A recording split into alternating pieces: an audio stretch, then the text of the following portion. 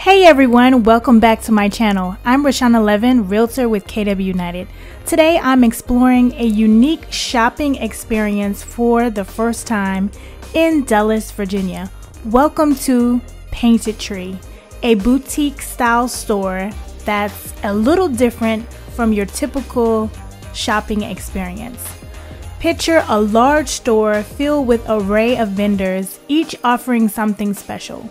Whether you're into socks, interior design, clothing, accessories, or candles, Painted Tree has something for everyone. Let's take a closer look at some of the vendors here, from trendy clothing and stylish accessories to beautifully crafted home decor or aromatic candles. There's so much to discover. And if you're a small business owner looking to become a vendor, good news, there is still space available. I'll put the link in the description below for more information. Painted Tree has only been open for a month as of the date of this video in June, but it's already becoming a favorite spot for shoppers looking for unique and local shopping experience. So, how does it work? It's simple. First, grab a cart, then shop each vendor, placing your items in your cart as you go.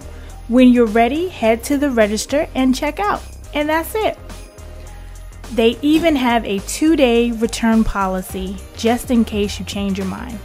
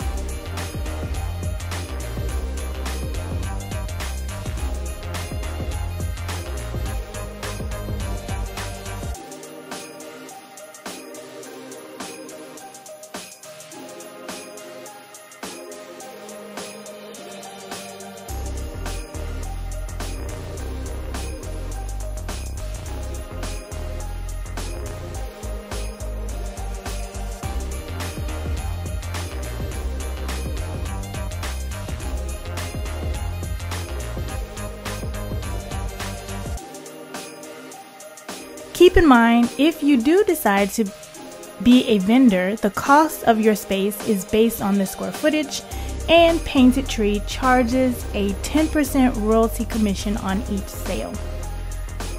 Thanks for joining me on this tour of Painted Tree. If you enjoyed this video, be sure to like, subscribe, and hit the notification bell for more local business highlights.